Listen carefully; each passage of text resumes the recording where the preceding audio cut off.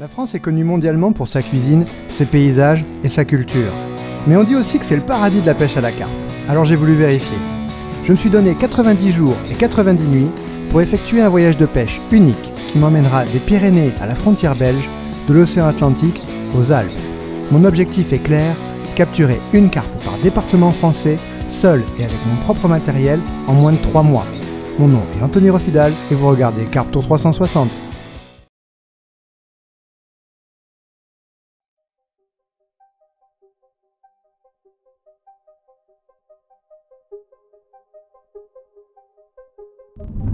Les amis, je suis bien embêté parce que j'ai pris un petit impact là dans le pare-brise. Et voilà, et maintenant il est fendu. Bienvenue dans la Meuse. Avec 2200 km de cours d'eau et 900 hectares de plans d'eau, la Meuse est un département riche en options. Avec notamment la rivière éponyme, le canal de la Marne au Rhin et plusieurs lacs en pêche de nuit, dont la star, le lac de Madine. Alors les amis, voilà le topo. Euh, je suis allé voir le parcours de nuit. Donc le parcours de nuit se trouve après le pont, là-bas, la passerelle. Il y a deux bras plus un autre petit bras. Donc il y a trois bras euh, en tout. Et euh, le parcours de nuit se trouve en aval de ça. Donc ça peut être intéressant, mais c'est, je trouve, assez, enfin c'est moins intéressant que de pêcher les bras séparément à première vue. C'est-à-dire que j'ai la Meuse qui est là, c'est un joli coin, hein, moi ça me plaît bien. Et euh, juste derrière, j'ai euh, le canal, je vous montrerai tout à l'heure. L'avantage d'ici, c'est que effectivement, je peux mettre euh, des cannes de chaque côté, donc je peux pêcher les deux. sachant que je pense que la rivière c'est le plus dangereux en termes d'obstacles. Le canal il a l'air assez clean, donc je vais mettre ma canne en haut, mais je squatterai plutôt près de mes cannes rivière. Ça devrait pas être trop compliqué, il suffit juste d'avoir un petit peu de chance qu'il y ait du poisson par là en train de me faire de quoi amorcer. Donc euh, j'ai... Euh, il y a toujours ces billes là, euh, les Nutricarp là, qui sont qui sont vraiment sympas. J'ai pas mal de noix tigrées, j'ai encore des différents types de pelettes. J'ai un peu de maïs doux, du babycorn, et j'ai mis du dip à la mûre, parce que c'est vrai que ça sent méga bon. C'est pas mal, ça colore bien, hein c'est... Ça sent bon, hein. sentez-moi ça. Ah, je vous le disais. Alors, il faut savoir pour la petite histoire que quand je suis parti, quand j'ai commencé le Carp Tour, j'utilisais pas du tout, du tout le fil dentaire. Je faisais euh, quasi, pas de montage euh, spinner rig. J'en avais un ou deux par là, mais ils étaient mal faits. Et maintenant, ben regardez-moi, j'utilise que ça. On va mettre un petit plomb, j'espère que j'en ai ici. Quand même drôlement pratique. C'est juste des petites chevrotines. Hein. Par contre, un truc important, c'est que il faut pas écraser le plomb sur la ligne parce que vous allez la fragiliser. Ce qu'il faut faire par contre, c'est normalement c'est une astuce de pêcheur au cou quand ils utilisent des, lignes très très fines. En fait l'excédent là, on le garde. C'est là-dessus qu'on va mettre le, plomb. voyez? Donc on fragilise pas la ligne. Donc ça c'est une bonne astuce. Ok. On va après prendre ça. Et on va poser. Et où est-ce qu'on va poser, Tommy? Eh bien, on va poser ici. Parce que là, il y a un beau poste quand même. Et il y a même derrière, c'est plutôt joli, là, il y a des nénuphars et tout. C'est vraiment très sympa.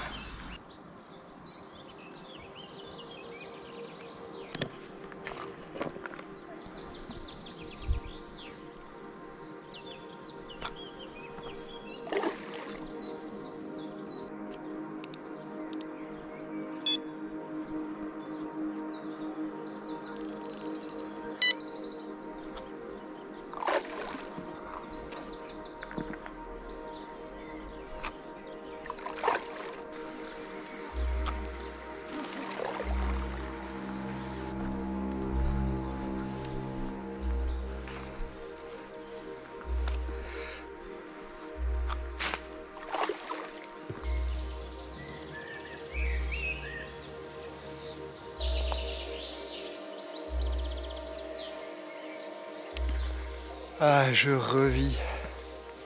Je revis. Je me suis pris une petite douche là. Et ça fait... Bah, c'est dingue hein, à quel point ça fait du bien.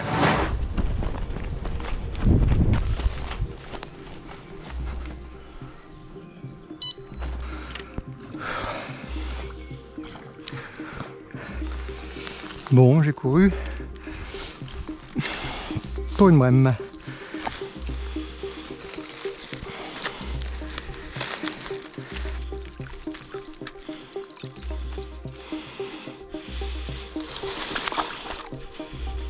Alors, ce que j'ai décidé, c'est de remballer. De toute façon, je vais pas rester ici pour la nuit, donc autant remballer maintenant. J'ai essayé à peu près, à peu près 3h30. C'était, euh, c'était suffisant, c'était cool. Mais maintenant, il est temps de se focaliser sur, la nuit.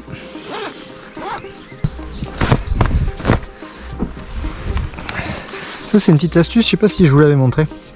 J'ai acheté des pieds supplémentaires en fait, qui sont très très longs. Donc euh, ça me permet d'avoir des pieds en plus si besoin, si c'est vraiment très très le dévers très prononcé. Et donc pour les stocker, euh, ben, je les laisse dessus visser. Ils sont là, ils me gênent pas. Et si j'en ai besoin, ben, je peux les dévisser, les revisser n'importe où ailleurs sur le, sur le châssis du bête Ça vous évitera de mettre euh, des cailloux, des boîtes de conserve ou je sais pas quoi pour, pour essayer de rattraper la pente, comme on l'a tous fait.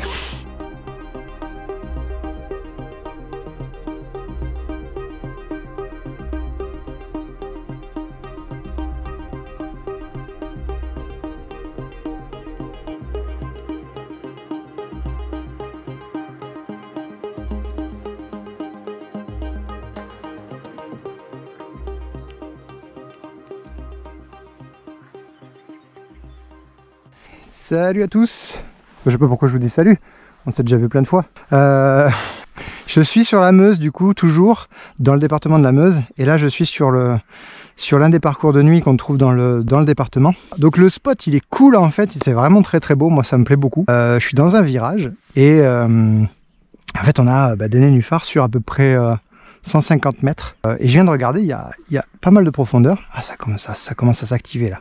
Ça vient de sauter là-bas. Alors je pense pas que ce soit une carpe mais c'est super cool. Il y a pas mal d'activités. Tout à l'heure, il y avait rien du tout. Puis là, c'est en train de bouger, donc je vais, vite me dépêcher de mettre les cannes. J'ai lancé une canne rapidement juste pour me faire une idée de la profondeur au niveau des nénuphars, mais il y a quasiment 4 mètres d'eau. Je vais quand même sonder vite fait, juste pour me faire une idée de, ce que j'ai devant et en face. Euh, donc pour ça, je vais prendre bah, tout bêtement une des cannes que j'ai. Je vais couper ça. Tac. Ça, en gardant la voiture. On va prendre la tresse c'est un peu gros ça, on va mettre un peu plus petit. Bon, la pop-up, c'est pour déjà donner du goût à l'eau. Comme ça, quand je... Non, je rigole, pas du tout. C'est pour éviter que, que l'émerillon se bloque dans le, dans le plomb et que du coup, ça remonte plus. C'est une petite astuce qui est bien pratique. Déjà, on voit qu'il y a pas mal de jus. Hein. 60, 80, 1 mètre, 1 mètre 20, 1 mètre 40, 1 mètre 60, 1 mètre 80. Ah putain, c'est coincé évidemment. C'est déjà coincé. Ah, il y a beaucoup, beaucoup de, de, cailloux. Je vais faire un poil plus loin. Sinon, je vais galérer. 60, 80, 1 mètre, 1 mètre 20, 1 mètre 40, 60, 1 mètre 80, 2 mètres, 2 mètres 20, 2 mètres 40. On va attendre un peu. 2 mètres 60, 2 mètres 80, 3 mètres, 3 mètres 20. Bon, en fait, il est en diagonale, donc euh, il y a un petit peu moins que ça. Il doit y avoir 2 mètres 50 à cette distance. Ok. «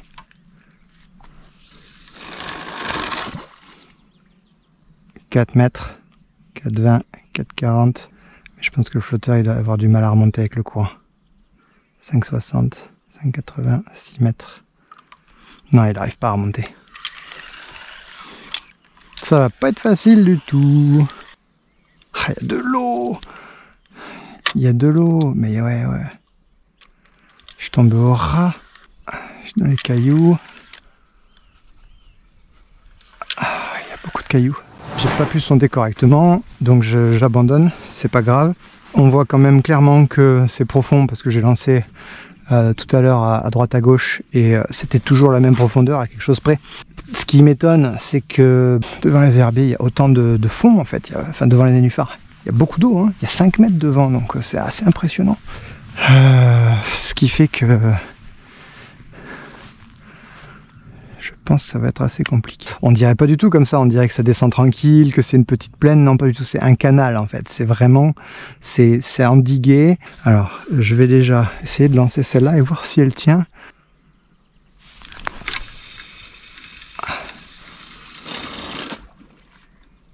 Ah, bon là ça va. Là, il n'y a pas trop d'eau. C'est pas mal. Il faut vraiment que j'arrive à garder mes cannes hautes. Numéro 2, donc ça c'est celle que je vais mettre en face. Si vous voyez, il y a un petit... Euh, ça rentre un petit peu là.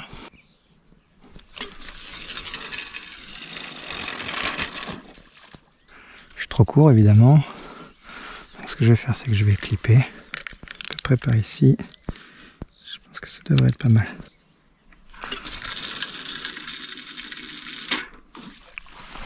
Parfait.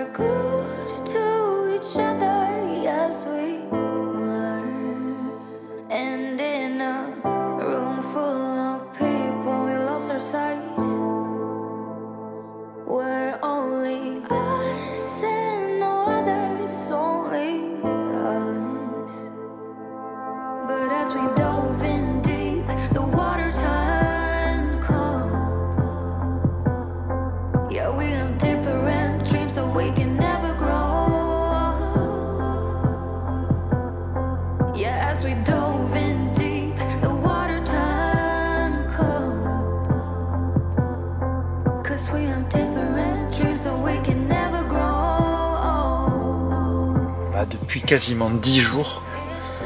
Je fais un départ tous les jours euh, entre 23h et minuit. Donc euh, bah, je croise les doigts. Hein. J'espère que ça va faire pareil. Il y a des très très gros poissons dans les nénuphars en face. C'est assez impressionnant.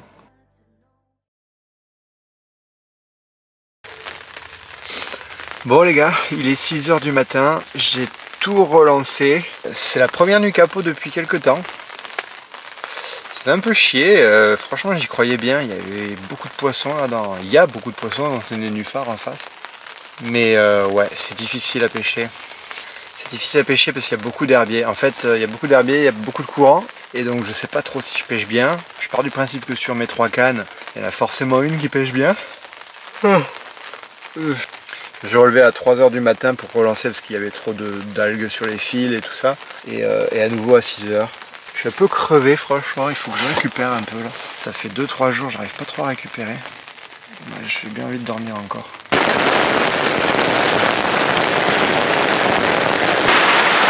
Bon les gars, il y a une énorme tempête. je me fais tremper là. Des trombes d'eau. Dehors on voit que dalle. Pas, je peux pas remballer là, je, vais vraiment prendre trop cher, tremper toutes mes affaires. Donc j'attends que ça passe. J'espère juste que le niveau d'eau va pas monter parce que je serais bien emmerdé. Ça y est, on dirait que la pluie s'arrête. Euh, je vois que le niveau de la rivière est monté. Moi je suis un petit peu euh, garé euh, dans un chemin pourri au ras de la rivière donc il faut vraiment que je me casse.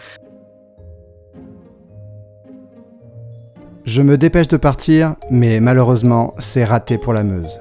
Voilà qui met fin à une série de 10 départements validés d'affilée.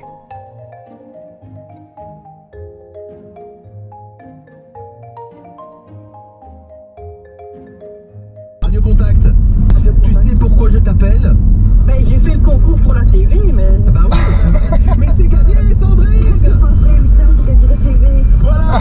Oh là là, j'ai gagné la TV, tu te rends compte, j'ai gagné la TV Bah oui, c'est nous qui a gagné la TV Elle a gagné la TV, ça c'est sûr. Bon les amis, je me suis arrêté euh, sur la route là, parce que je suis près de Verdun. Et comme euh, je vous avais dit que j'aime bien l'histoire, c'est l'occasion euh, pour moi pour voir quelques lieux voilà, qui ont marqué l'histoire. Donc il y a un, un village qui a été complètement détruit. Et donc il y a une sorte de mémorial. Bon, c'était pas hyper. Hein, on est en 1916, hein, c'est pas hyper moderne. Hein. D'ailleurs, la dame, elle balaye, mais on dirait que c'est balaye la terre. quoi. Ah ouais, ben là, donc c'est le village en 1915. Et là, en 1917, effectivement, il reste plus grand-chose. Je vais désormais tenter ma chance en Meurthe-et-Moselle, où la Fédé semble bien active et propose 1500 km de cours d'eau ainsi que 650 hectares de plans d'eau. Une bonne trentaine de parcours carpe de nuit, majoritairement en canal et rivière, viennent compléter l'offre. Je me demande si j'ai pas des puces dans le duvet ou un truc, c'est pas normal. Ça me gratte partout. On va traverser le canal de la Marne au Rhin. Et nous, ce qui va nous intéresser, c'est plutôt la partie droite. Effectivement, il y a pas mal d'herbiers. Bon, les amis, me voilà au bord du canal. Donc, on a une écluse là-bas. Et de l'autre côté, on voit tout au bout une autre écluse. Ça, c'est l'écluse du port. Ça a l'air pêchable, même si effectivement il y a beaucoup d'herbiers. Ah, c'est quand même rempli d'herbiers. hein. Ah, Ça va pas être facile, facile. Bon, alors, ce qui est pas mal, du coup, ici, c'est qu'effectivement, le bief est pas très grand. Hein, donc, euh, si, euh, s'il y a du poisson, et normalement, bah, je pense qu'il y en a, puisque la fédération m'a conseillé de venir ici, donc euh, c'est qu'ils savent qu'il y a du poisson, je suppose. Et comme le bief est pas grand, euh, bah, normalement, ils sont moins difficiles à trouver. Vous voyez ça? C'est une puce. Je savais bien que j'avais des puces. Bah super. ok. Bon bah ça c'est l'un des inconvénients hein, de, de camper à l'arrache euh, pendant des semaines. Bonne nouvelle. J'ai trouvé d'où venaient les puces de mes cheveux. Donc c'est bon, bah, je vais pouvoir régler le problème. Il faut que, il faut que je me lave les cheveux et je vais les défoncer.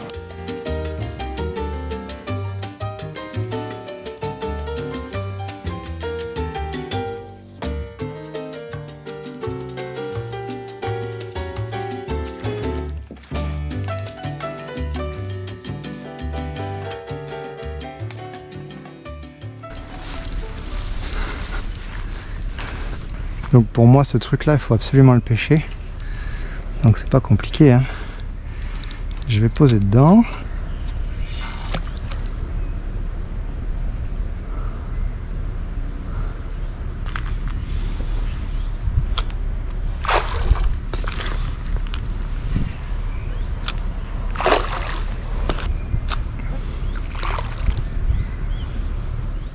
Allez, on va aller placer celle qui est la plus loin. Je vois toujours pas de carpe. Alors je vois des bulles remonter, mais ça peut être n'importe quoi. Ce moment, quand je vois des petites bulles comme ça, c'est très souvent des brèmes. Je vois assez bien et du coup, bah, là il y a peut-être un trou. Alors, je vais retirer le sac et je vais poser pour voir.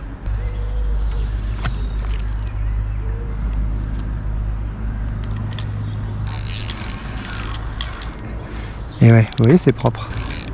Eh, pas partout.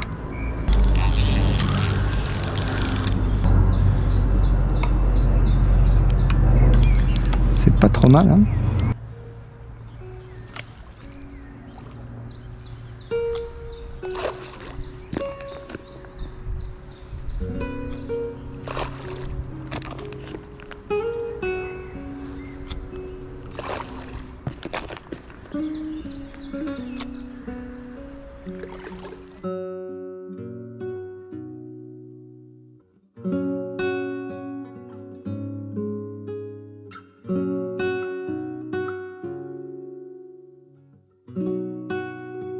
4 cannes sont posées, j'ai 18 heures pour faire un fiche en Meurthe-et-Moselle sur le canal de la Marne au Rhin.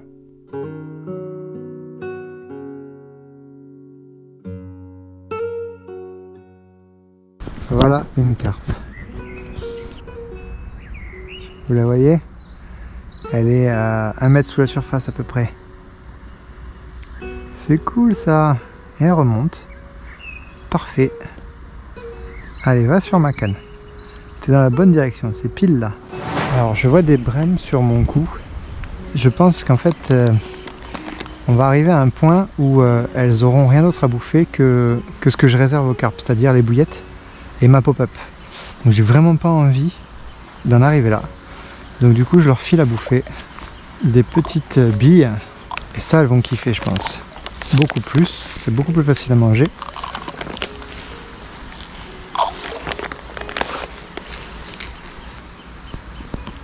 Ouh, qu'est-ce que c'est qui a attaqué là? Qu'est-ce que c'est? Vous voyez ça? Il y avait un truc dessous. Je sais pas ce que c'était, c'est aller à la vitesse de la lumière. Allez, maintenant, c'est l'heure de manger.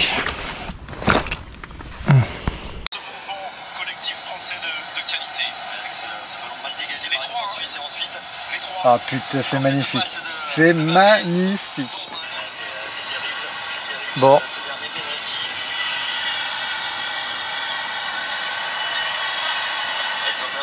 C'est fait fini. Et bien sûr que la caméra s'attarde, s'attarde sur un homme qui est, qui est seul. Et Ouais, ben moi aussi, je suis seul, qu'il est- Bon les gars, il est 1h du matin, toujours pas de, de touche. Je vais aller au lit, je vais me coucher. je suis KO. J'aurais pas dû rester éveillé si tard. Bon allez, au lit.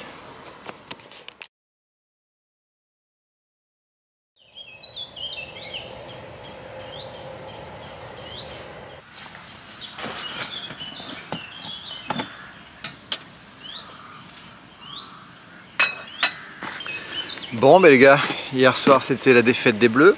Et puis euh, bah, ce matin c'est euh, le capot. Ça remet en place. Je viens d'aller inspecter les lignes. Il y a encore, euh, il y a encore les appâts. Donc euh, bah, ça n'a pas été visité. Ah Ça y est, ça part.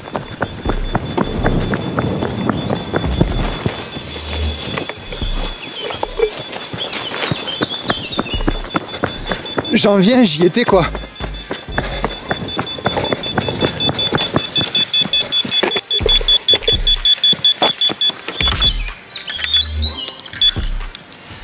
C'est incroyable. C'est incroyable les gars. Bon maintenant, faut essayer de la sortir.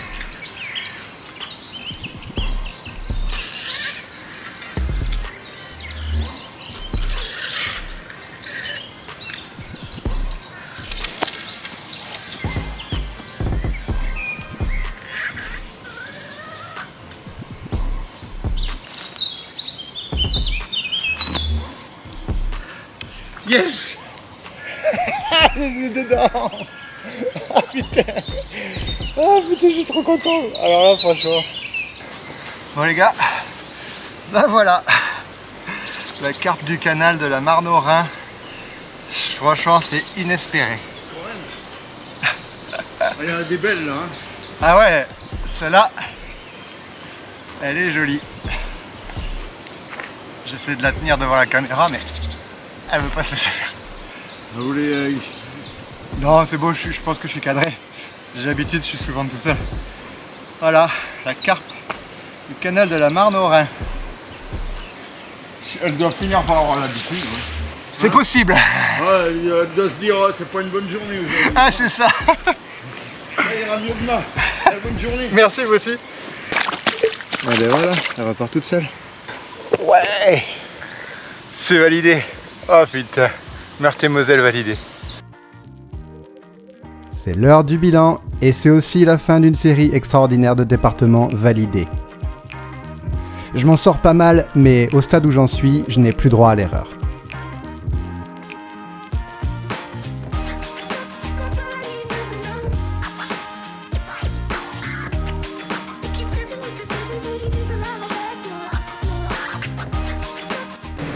L'important sur la route, c'est de bien manger. Moi qui fais beaucoup de kilomètres, j'ai besoin d'une alimentation saine et équilibrée. C'est pourquoi je m'arrête ici. Fraîche. C'est important.